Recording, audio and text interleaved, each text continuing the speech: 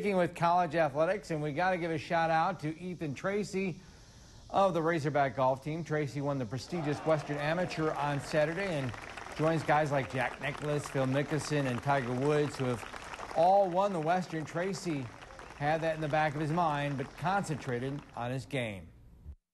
I try not to think about that stuff. Uh, it just gets you off your game. But uh, I played great golf, and to come ahead of Patrick Cantlay, uh, it, it's an un unbelievable feeling. I tried to just try uh, stay calm out there, and uh, um, my dad helped me out a lot with that. Uh, we just focused on our target and trying to get in the fairway and on the green and trying to make one putt.